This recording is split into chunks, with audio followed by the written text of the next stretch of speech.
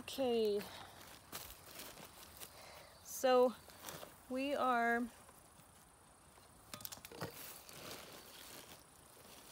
about to do this intentional walk and we're going to use the Colorado Trail as a base for that walk and take some side detours and so we're going to be on foot for about a couple months and we're doing some of the same things that through hikers would do.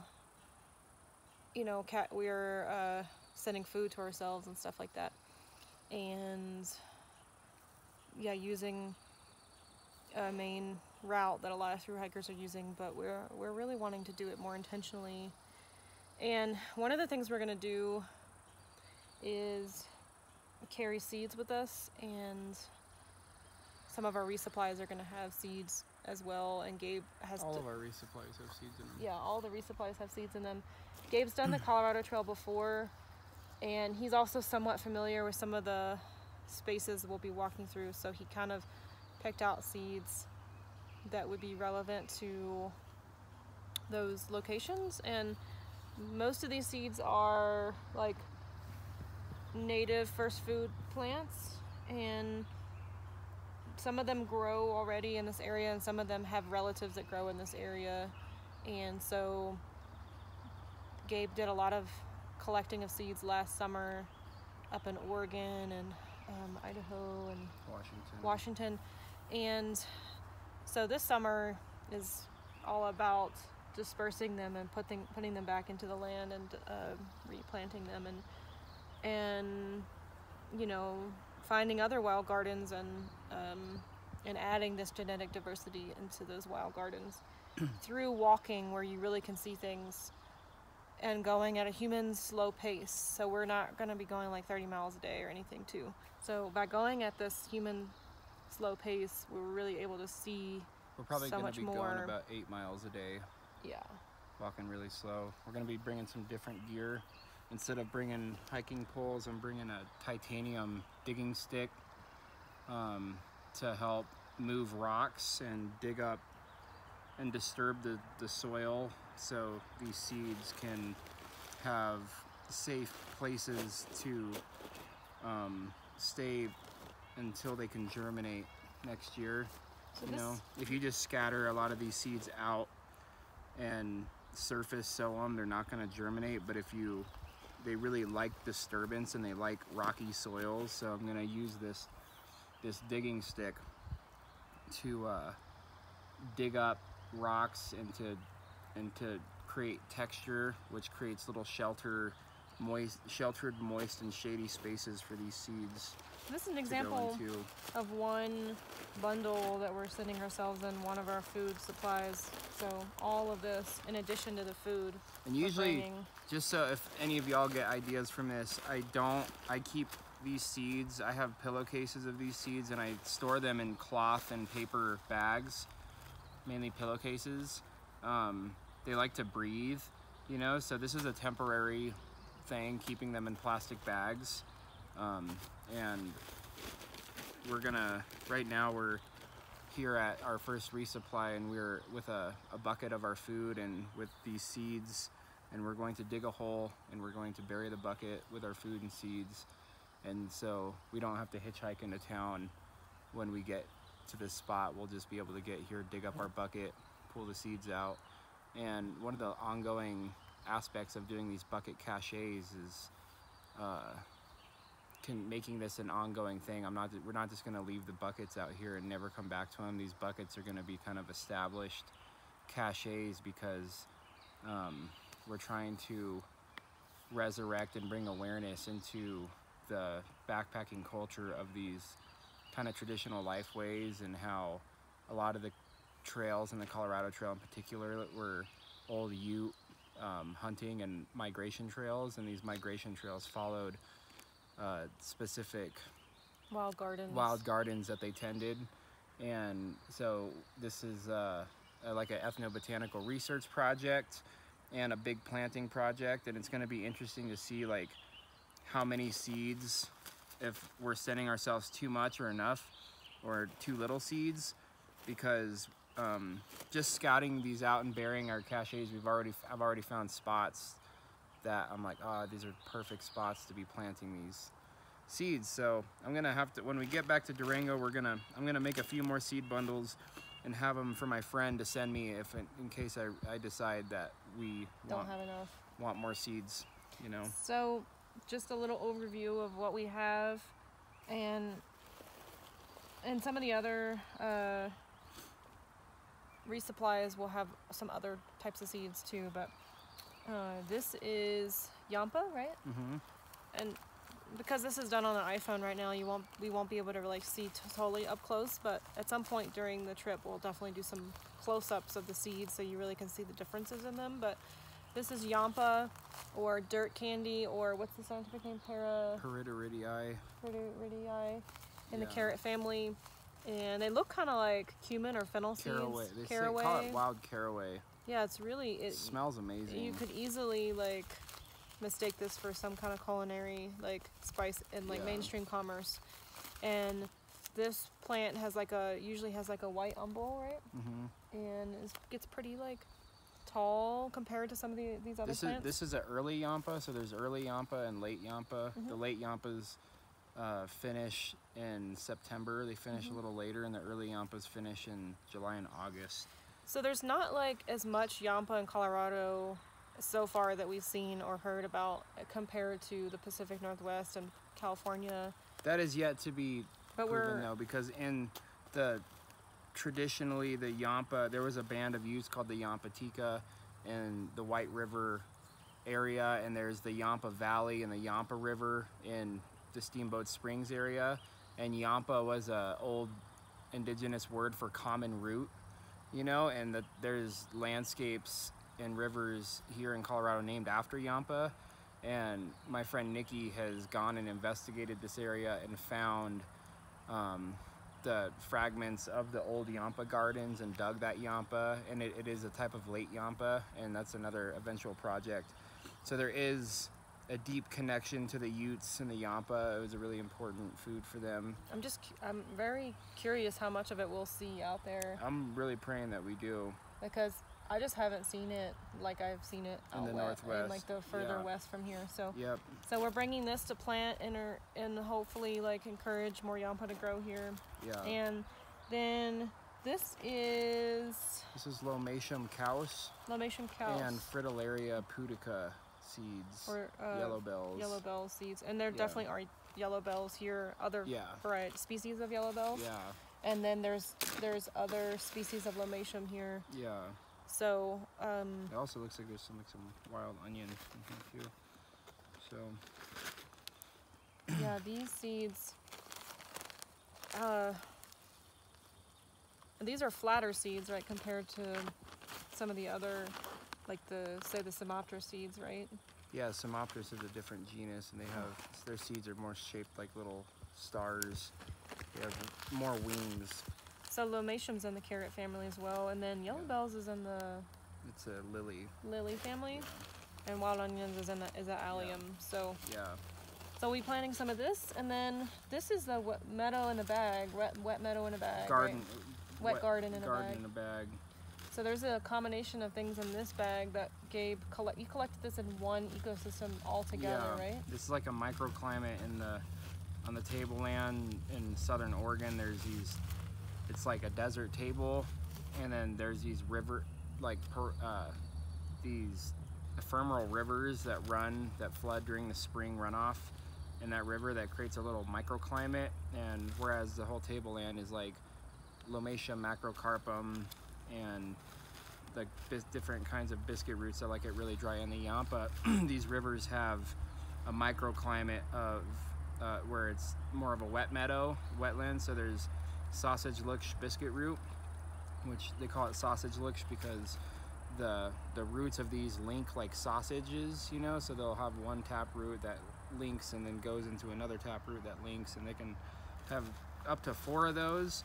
There's uh, camas, Camassia quamash in here, and then a, a wild onion that likes that wetness, and then uh, white brodiaea in here, and there's probably some yampa seeds in here too. But so we'll obviously be picking out a particular place To to, put this these. that would would uh, Yeah. be similar to the ecology where he gathered them initially. Yeah. So, and then didn't already talk about this one yet. Not right? yet. This is a combination of lomatiums. Yeah, this is probably like six different lomatiums, uh, diff- six different kinds of biscuit roots. The ones I know off the top of my head are Lomatium macrocarpum, the Big Mac, and then uh, nine leaf biscuit root, two biscuit roots that I got seed from in uh, Lapwai, Idaho, on the Nimiipuu Reservation, and Lomatium dissectum, which is a medicine lomatium, and um,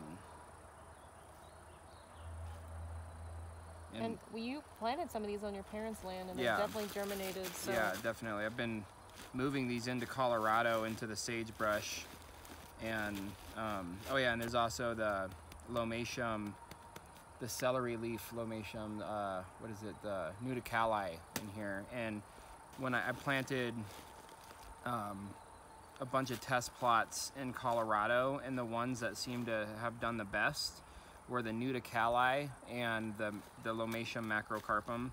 They seem to really like those uh, dry clay yeah, you, your You parents' know. land is particularly dry and clay. and clayey, so it's Yeah. kind of cool to see, like, in such a tough Yeah. climate, what did well. And there was another section that it's going to be the east side of the collegiate. So the collegiate mountain wilderness, or there's a west side that goes around the west side of the collegiate mountains, and then the east side. And on the east side, there was, I remember, a lot of um, lilies. And I harvested a good sized bag of Calochortus macrocarpum when I was in Oregon, which has a bigger bulb about that big and a flower that gets much larger and they're purple pink flowers and so for that particular section i put um, a bag Extra. of I, I put a whole bag of that particular calochortus lily in that because i really want to plant that there because that section is very ponderosa sage serviceberry you know it's i just so i was kind of thinking about the habitats from my memory that we'll be walking through and custom fitting custom customizing the size of the seed bundles and what seeds we put in them we're not bringing really uh, apricot pits or plum pits or anything No, on this because it's not really the right time of year to plant. yeah we're gonna do a big stone fruit planting That'll be in the fall. in the fall Not on the Colorado Trail, but yeah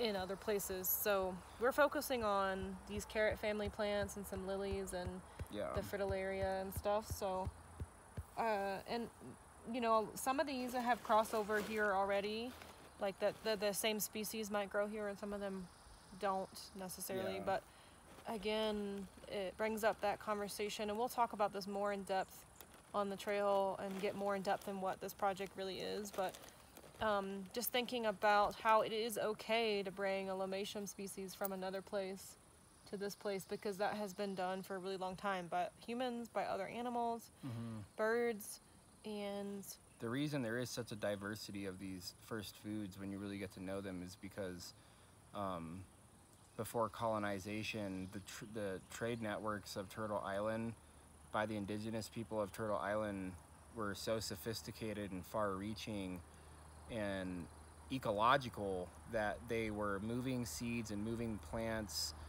that were valuable cultural culturally and med- medicinally and as food and um, one example connecting to the Utes here in uh, where I'm from in Durango, Colorado, there is a type of uh, Brodiaea, a wild hyacinth that only grows in the Pacific Northwest in British Columbia.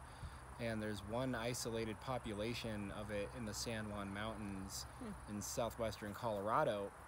and that's the only other place it grows other than in the Northwest. And um, that was because the Utes liked that plant and they brought it there and planted it there. So we're um,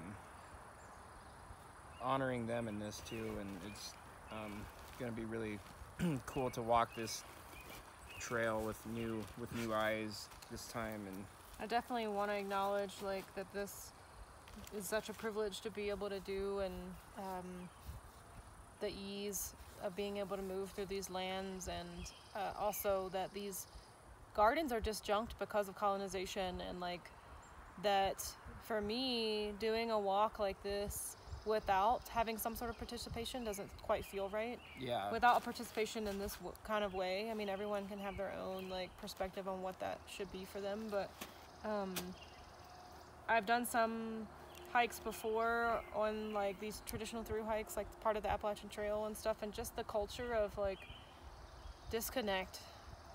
Even though people are enjoying the land and being outside and camping and stuff, they often don't even know what trees they're sitting around or what flowers are growing around them and and just the ecological and cultural history and context Yeah. of of these landscapes too and i have a, a people little have bit no of, idea.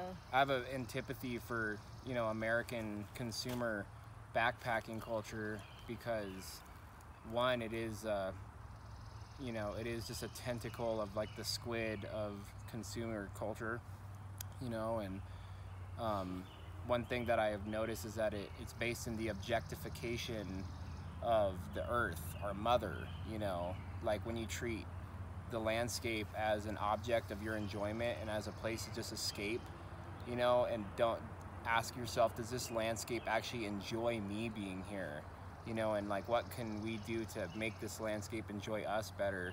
And in this we're kind of uh, gonna be trying to educate people on a middle ground between you know trashing things and leaving no trace you know? And that's a polarization that i've seen is really harmful because both sides of that are based in the fact that we're only visitors here and that we're separate and we're not you know? We're humans are ecological beings and whether we know it or not we're constantly participating in cultural landscapes whether that's uh, a town a city or a monocrop of corn you know we're always co-creating cultural landscapes and how um, these landscapes are uh, they, they really miss the presence of, of people that see and live want to live with them. Not on them not off of them but live with the And- ecology right Not to say that we are perfect in some way and Not like, at that we aren't at all. bringing things from stores to eat No. and stuff like that, but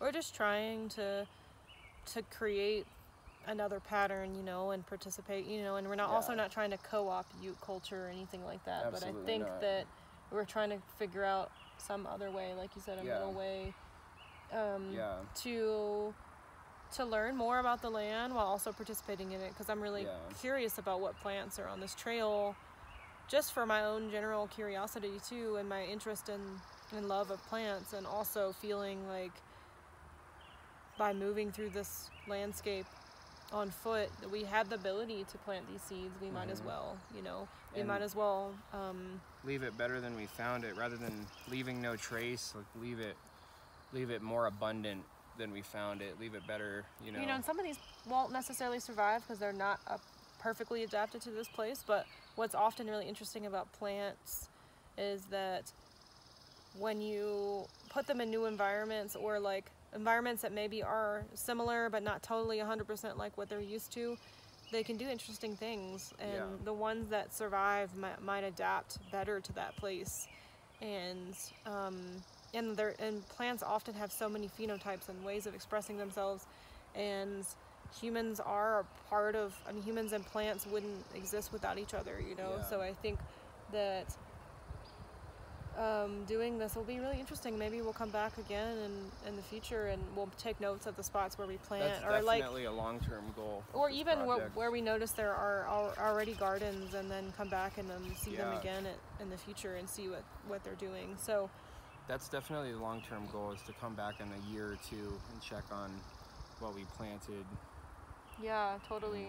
To And- keep that because this is part of this project is with changing climates a lot of these a lot of these foods like biscuit roots are trying to move their range already because they are um, being affected by warming temperatures you know so we're up here at about 9000 feet and most of the colorado trail is averaging pretty high 10,000 feet, and we're moving these uh, food plants into higher altitudes so they can, and that that's that's a that's been an observed fact that plants and animals are starting to change their range because of uh, changing climates and they're moving either farther north or higher in altitude.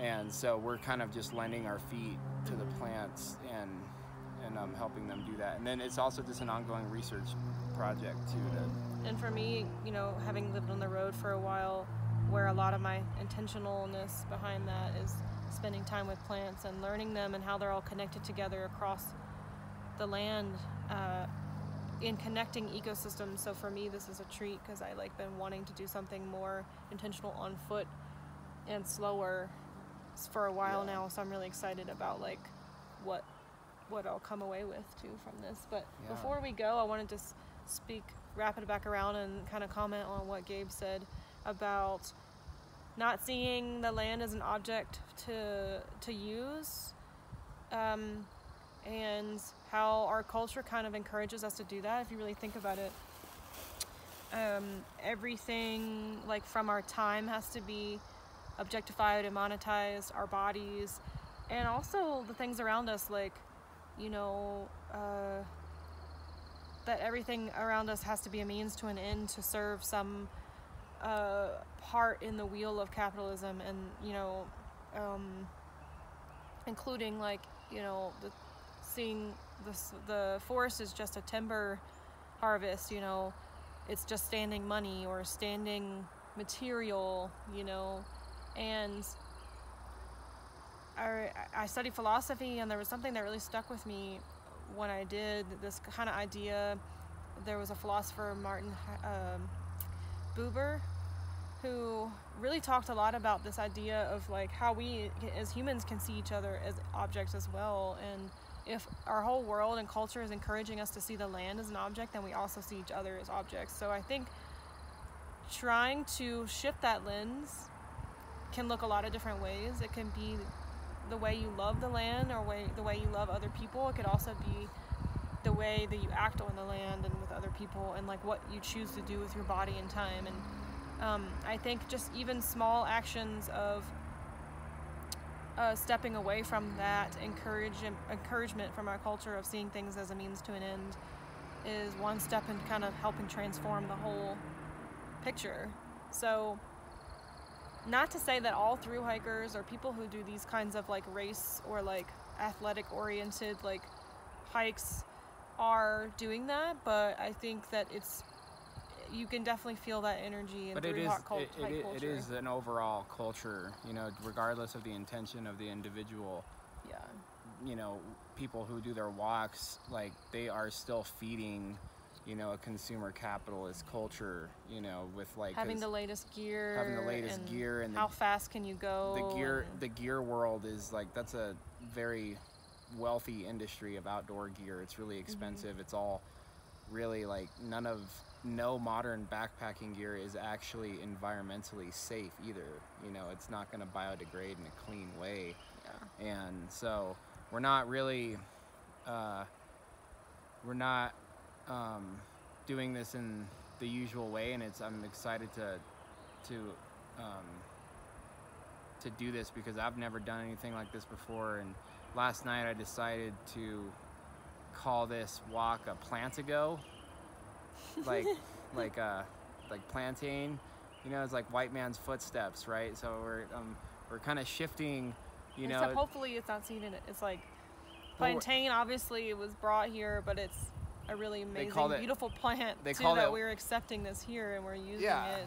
And, and they called it white man's footsteps and there's like the there's the reputation that's based in a lot of truth that like what you know white man's foot what were left in white man's footsteps was not was was um was environmental destruction and stuff so we're not only planting as we go this is a plant a go-go we're also um, shifting you know what is left in our footsteps and in, in our footsteps here we're gonna we're gonna leave uh, roots and and wildflowers growing out of our footsteps you Mhm. know and i think that that's like um, almost like ritualistically a healing act too for for people and well, maybe we'll also rec- be recording a podcast. We kind of tried, and then we're like deciding we might want to re-record it. But Yeah. maybe before we go, we'll be recording like a bigger podcast kind of conversation about this thing and Yeah. I just wanted to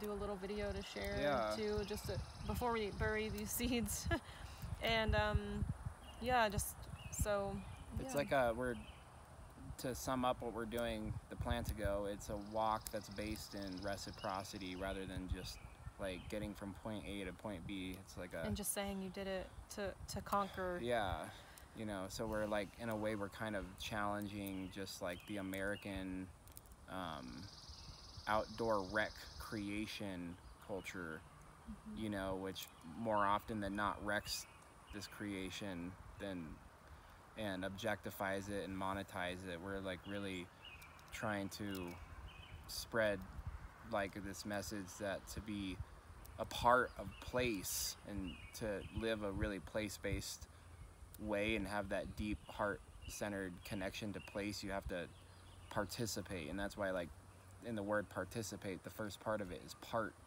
you know? So and that everybody and anybody can be a part of their place by um, just participating in it whether you're like a soccer mom in the suburbs going out and planting peach pits with your kids or you know if you live on horseback most of the year no matter what you what what you do or where you are whether you're in an inner city um, there are There so there's so many ways to participate. because a city is just as much a cultural landscape as any you know and the only place that we are actually separated from these landscapes is in our minds and in our hearts you know because no matter how unconscious we are of it we are still co-creating and participating in cultural landscapes and we have a really powerful sphere of influence in doing that and oh there's a flying well let's planting seeds is a powerful is a powerful act let's know. go ahead and,